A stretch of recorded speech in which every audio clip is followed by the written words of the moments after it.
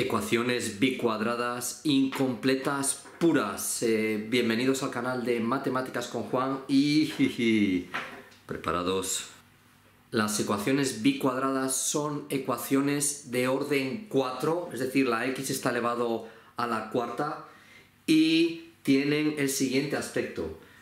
ax a la cuarta más eh, bx al cuadrado más c igual a 0. En nuestro caso estamos hablando de ecuaciones bicuadradas incompletas puras. En este caso eh, b va a ser igual a 0. La ecuación que vamos a resolver es la siguiente. 81x a la cuarta menos 16 igual a 0.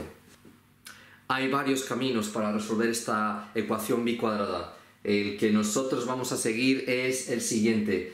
Eh, tenemos x a la cuarta vamos a eh, decir, porque nos interesa, eh, que x al cuadrado eh, pues sea t. este símbolo que hay aquí es por definición, es decir, hacemos que t cuadrado por definición sea t. Con esto que hay aquí vamos a reescribir nuestra ecuación mi cuadrada. un momento, vamos a hacer unos pequeños cálculos. x a la cuarta, teniendo esto en cuenta, eh, puede escribirse de la siguiente manera. Esto es igual a t al cuadrado. ¿Sí? ¿Está claro esto?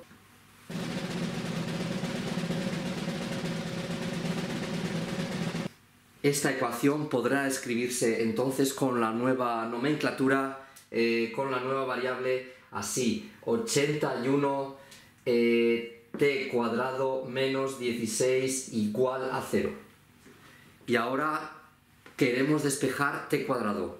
Eh, ¿Qué hacemos? Pues mira, eh, aquí sumamos 16, aquí sumamos 16 y tendremos 81t cuadrado igual a 16. Y ahora eh, dividimos 81 aquí, 81 allá, lo que hacemos en un miembro lo hacemos en otro. Y esto es equivalente a t cuadrado igual a 16 partido de 81. Y eh, más, más, más, más, más. Eh, t va a ser igual, claro, tenemos t cuadrado, pero queremos t. Eh, t va a ser igual a la raíz de 16 partido de 81.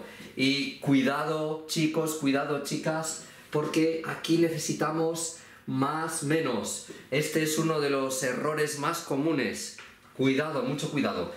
Y esto será igual a, pues más menos, raíz de 16, esto es 4, eh, y raíz de 81 es 9.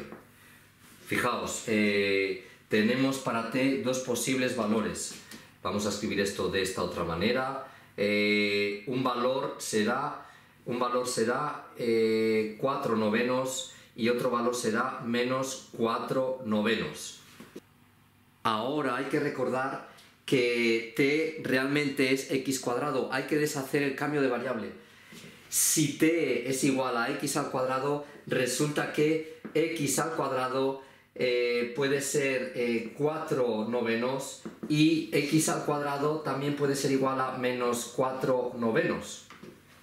Para no hacernos un lío, vamos a decir que esta x al cuadrado pues, eh, va a ser x sub 1 y esta va a ser x sub 2. Esto simplemente es ponerles nombres eh, pues a las dos variables. ¿Y cómo despejamos esto? Pues igual que hemos hecho aquí. Eh, esta variable x que, hemos llamado x sub 1 x sub 1 al cuadrado va a ser igual a eh, más menos raíz de 4 partido de 9 es decir es decir más menos 2 partido de 3. Aquí tendríamos ya una solución, bueno, realmente dos soluciones. Aquí una con signo positivo y otra con signo negativo. Venga, vamos a ponerlas. Eh, una sería 2 eh, tercios y otra menos 2 tercios. Y eh, vamos a ver lo que tenemos por aquí. x sub 2 sería igual a más menos raíz de menos 4 novenos eh, uy, uy, uy, eh, veo un signo menos dentro de la raíz.